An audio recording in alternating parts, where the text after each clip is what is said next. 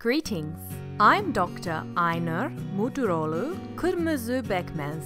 I'm the head of the Physical Therapy and Rehabilitation Department. The aim of the department is to train competent individuals responsible for determining and organising a personalised rehabilitation program for all muscular and skeletal system problems.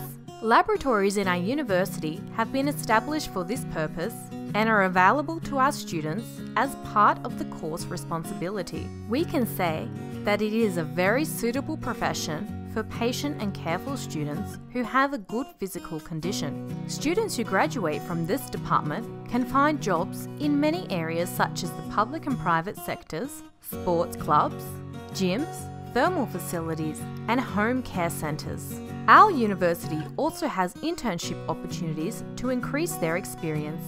In our campus, which has an indoor area of 106,000 square metres, we have physical therapy and rehabilitation laboratories and a total of 124 application laboratories. We can say that students who will study at the Neotech campus are preparing not only for lessons but also for social life with an abundance of social opportunities.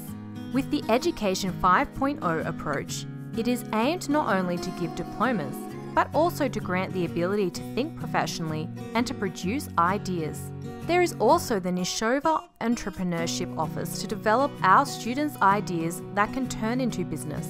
Physical therapy and rehabilitation is a four year department, and our scholarship students are granted their rights until their graduation. Our university offers many advantages to undergraduate students.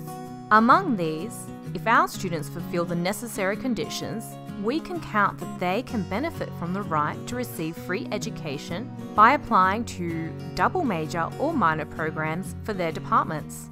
If they study optional preparation for one year, they can complete MBA, Master of Business Administration, Master's degree without additional fees for one year. The İşkur, Turkish Business Association office, which will serve only our students, is located within the campus. In addition, two certificate support is provided every year to increase the experience of our graduates. With the support of our international office, our students can have the opportunity to study abroad. In order to improve their foreign language, they can complete their preparatory English education at the schools of Nişantaşı University in London and Dublin. We welcome all candidate students who want to study at the Physiotherapy and Rehabilitation Department to Nişantaşı University, and I wish students success in the university exam.